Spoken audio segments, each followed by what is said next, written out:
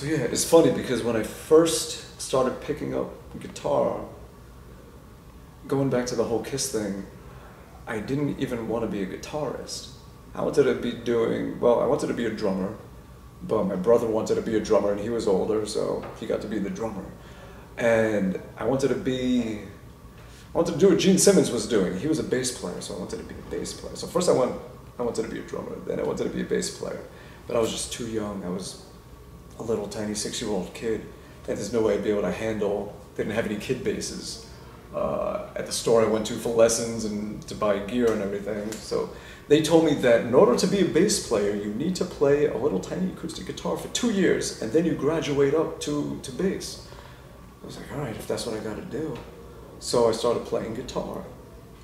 And I didn't think about it, and I didn't feel like I was missing anything or just waiting for the opportunity to switch to bass. I kind of forgot about it. It was more about making songs, and it was a tool to make music. And that's what I realized, or maybe I didn't realize it, I just, that's what was going on. It wasn't so much about the instrument, it was about the act of making music and you know, just putting music out there by whatever weapon you have.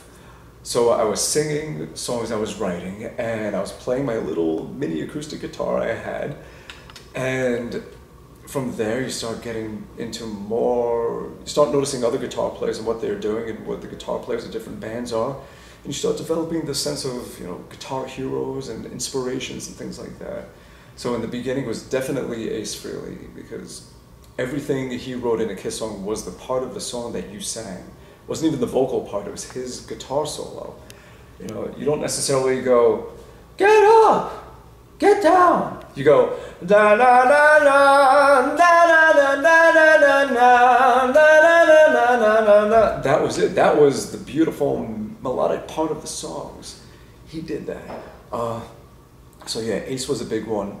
Angus Young, so much energy, and yeah, so I would have band practice a 10 year old kid and everyone would be playing and I would just be just jumping around the room and just like spitting and, and just, yeah. I remember I actually got fired from my own band for being too like crazy and, and it screwed me up for a long time.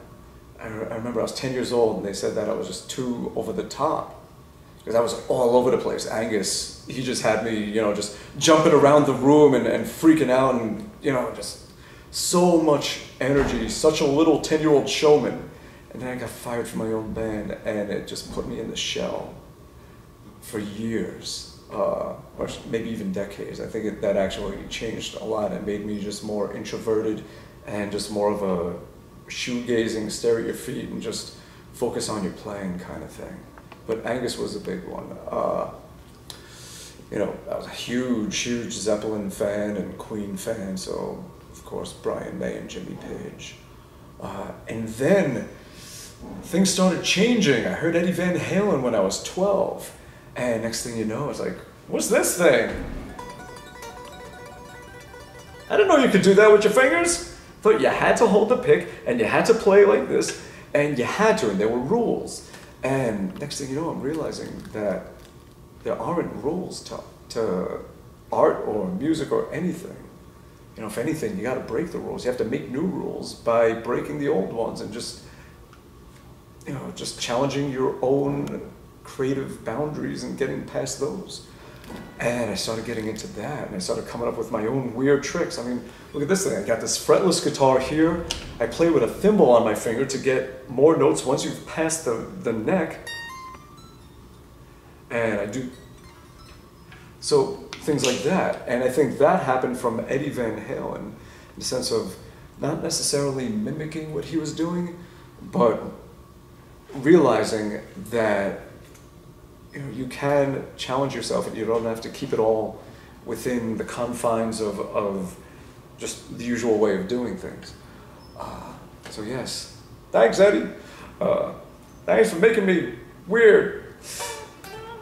And from there, I started getting into more, I guess, the intellectual side of guitar playing and really getting into more of, of the math behind it and, and the, uh, the music theory and getting into jazz and classical. And from there, when that happens and you're combining it with metal and looking at other players that do that, start getting into to Randy Rhoads, who was like the perfect mesh and meld of classical into metal.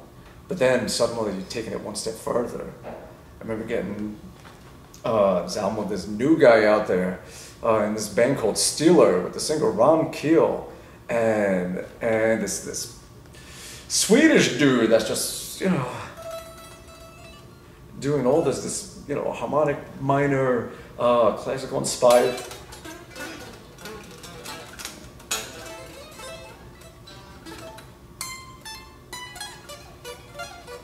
and from there and, and he joins the band Alcatrazz.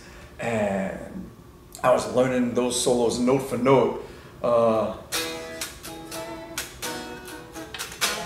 that, that big vibrato.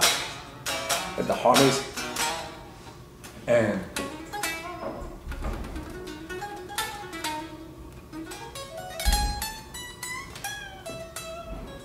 still remember all those solos note for note.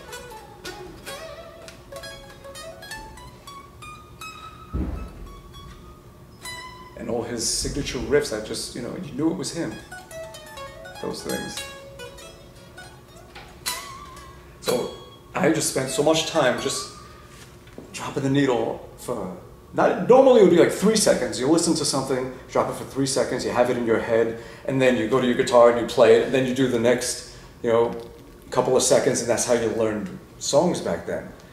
But with this guy, it's like you drop it for half a second, and it's like it's like okay, try and get that down, and then the next and get that down. I mean, it was such a challenge, and and it was such he made guitar players grow and he did something that I mean he took it to a whole other level. Man, did he raise the bar.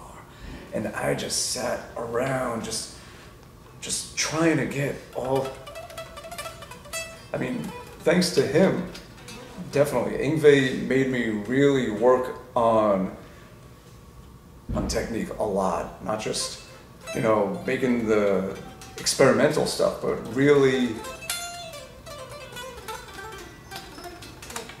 Yeah. So Yngwie was a huge inspiration.